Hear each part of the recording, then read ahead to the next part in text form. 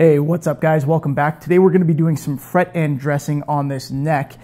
Uh, and we're going to test out a variety of different options here for what we can do with this. Now, what we're really kind of testing is do-it-yourself versions of the fret end dressing files versus actual ones. But we have a couple different actual ones, a couple different do-it-yourself versions.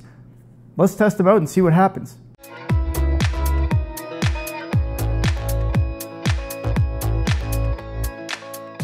So in case anybody's confused about what's going on here, we've already leveled the frets on this fretboard. This is an aftermarket neck, so usually they need that sort of thing, depending on where you get them. Uh, this one didn't need a whole lot, but you know, a little bit. So we did that, and then we did our fret crowning. So all of these frets are nicely crowned now, so there's a nice spot for the string to intonate. And I've already sanded on the edges here, made sure that I don't have any fret ends sticking out, any fret sprout that can cut your hands when you're trying to play quick and all of that. So it's feeling pretty comfortable but we can make it better, we can make it feel better, and we do that by rounding the ends of the frets. So after you level, you kind of end up with this sharp edge a little bit.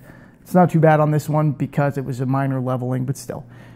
We've got to do that, that part next. Now there are a couple different options. Let's explore what those are. Let me first start by saying, and, and this is maybe a bit of an exaggeration, but there are two different schools of thought on this. Uh, some people like to create a nice rounded fret going this way as well as around the outside um, so that it's got an angle. And some like to create more of a ball on the end so that the fret goes kind of vertical on the side and is just rounded off for comfort. What you prefer is up to you. Uh, I guess the justification for the ball is avoiding having the string coming off the edge. If that's something that you struggle with, maybe consider that option. That's kind of what I like to do. Um, but either way, these all of these options work for any of the above. Let's talk about what methods we're going to test. And by methods, I mean tools. So let's start with the professional options. We have uh, the fret end dressing file from Crimson Guitars. I'll give you a closer look here. So this is a nice thin file. It's perfectly smooth on the front and back and the sides are not smooth. They are the part that files. Pretty nice little piece of equipment. This is purpose built from Crimson for doing this. While we're talking about Crimson guitars, we also have their 3N file. This is actually um, designed for fret crowning from them, but can be used for fret end dressing. So uh, yeah, we'll check that as it compares to the other one, and you guys can determine if you're buying the Crimson tools, whether you think you need both, or maybe the, just this guy. Pretty versatile tool there. And we'll talk about the relative merits as we go. Uh, this is the fret end dressing tool from Hosco. This is their number two, but it comes in a set of three from Solo Music Gear. Uh, these are the ones that you guys have seen me use the most probably. And I'll mention this now if you are looking for these. Solo Music Gear, I have a link in the description to them. If you buy it through there, it helps me out. You will have seen this in a couple of my videos, my make your own crowning tool for cheap um, video and my recent comparison of different crowning tools. So this is my kind of do-it-yourself tool with the flat walnut bottom and the two 45 degree angles with sandpaper. And finally, and I'm not kidding here, really, the I spent all my money on parts and can't afford tools option. This is a popsicle stick and this is masking tape. Then I think you'll be surprised what we can accomplish with this. Now, if I'm being honest, and I might as well because you guys will call me on it if I try and lie to you, it's going to be a little tough, I think, for me to capture the specifics in the camera of how our finished product looks here. But let's demo these all and and you know I'll do my best to show you how the actual fret end looks at the end but I'll also describe it. So let's kind of do them I think in the order that I presented them. So we've got the crimson fret end dressing file the crimson uh, three corner our Hosco option. My apologies I forgot a StewMac option. This is a diamond file with smooth edges pretty straightforward. So let's put that in there too. And so the first four will be our professional purchased tools. Then we've got our do-it-yourself crowning file. And finally, this crap. Okay, let's get started. So this guy is very small and easy to control. This is the fret end dressing tool from Crimson. Very smooth edge. That's the important part. Now on all of these, you have at least a smooth edge. There are diamond files that you can get that you can, you know, round over metal with, but that don't have a smooth edge on them those will gouge your fretboard. And in fact, if you're relatively new to this, I highly recommend that you tape off your fretboard, okay? Now I'm gonna I'm not gonna do it because I'm, well, one, not new to this, and two, I'd actually kind of like to compare the relative safety of these options.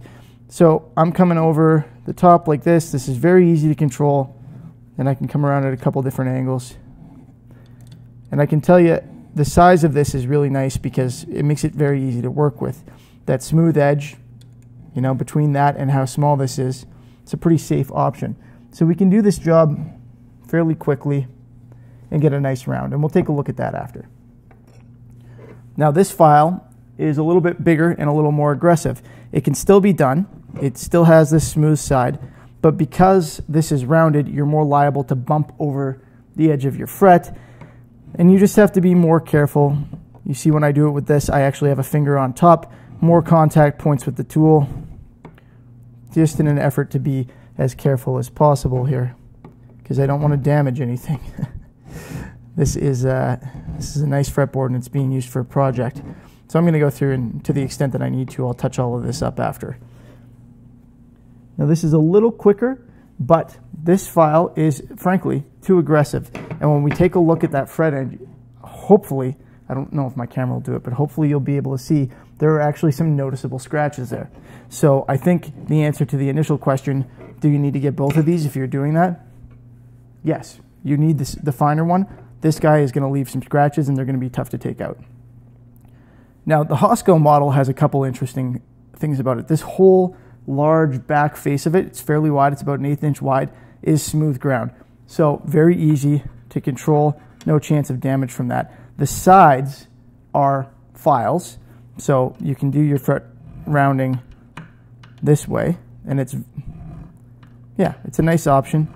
Uh, it's safe, so if you bump back and forth over, it's not a big deal because you do have that big ground area. But we also have a hollow ground center section that you can actually use to round off that top a little bit. And that's, uh, that's a nice little touch, especially if you want to angle down the end of your fretboard. I do like that hollow ground section. That's why you'll have seen me use this one the most. This is, for me, the easiest option. And it's fairly quick. So I'm done there. Looks good. StewMac. One, two, three, four. Here we go. Uh, again, safe edges. That's the important part. Um, diamond file right up to the edges, so you do have to be careful, but that's fine. This one's fairly easy to control. It's a little bigger. It's not as easy to control as the Crimson one. The handle is much crappier than the Crimson one that's got a really nice wooden handle that makes it a little easier to hold. Uh, all in all, not as big a fan of this of this particular file, and uh, yeah, that's why you pretty much never see me use it. It does create a nice, smooth, fine finish though, and I think it may come in a pack of two with a, uh, a more aggressive one. So that's good, nice. Let's move on to the do-it-yourself options. So we're on fret 5 here. The first of my do-it-yourself options you might be familiar with. You can put two different sandpapers on here for fine and smooth. That's nice. This thing is, well, actually pretty easy to control. Something for some reason, when we make the jump to this size of item, it becomes easier to control because you can kind of get your hand around it. So this is actually pretty effective. Uh, I like it.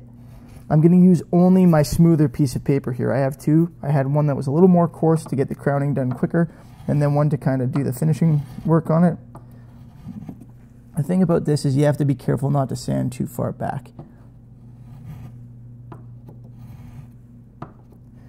So yeah, the, the worry with this is that you're going to create kind of a rounded angle that goes a little too far back, but it worked.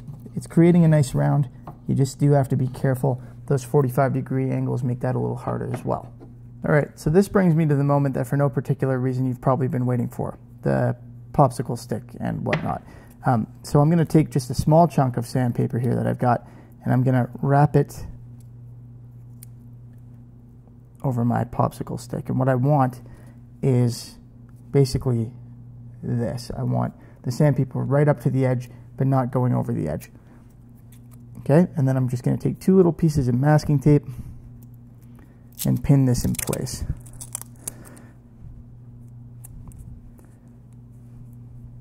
One right over the end. And again, the only thing you need to really be careful of here is don't have sandpaper going over the edge. Make sure you've got just wood there but make sure it's close to the edge so that you can make proper contact with the fret. Okay, so that's what we're looking for. Unfortunately, my piece isn't big enough to quite get there on the other side, but that's fine. So we'll just go in like this, the same way we have been. Get that right up to the edge. There we go.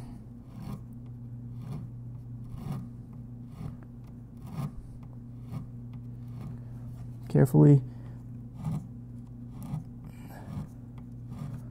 And what I'll say right now is uh, I don't I don't have one, but rather than trying to do this by making one, you can just use uh, a fingernail file. So go to Walmart into the, the section with all the the whatever it is, grooming slash makeup and whatnot, and get yourself a fingernail file, and then you'll be fine. I'm just moving this paper down to the other side so I can do the other side now.